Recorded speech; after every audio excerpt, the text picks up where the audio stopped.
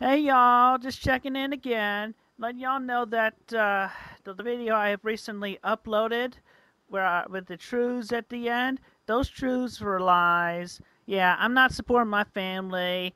I don't have a job, so there. And I am high functionally autistic, and I'm nearsighted, still a virgin. So there you go. Take that, you lousy trolls. Peace.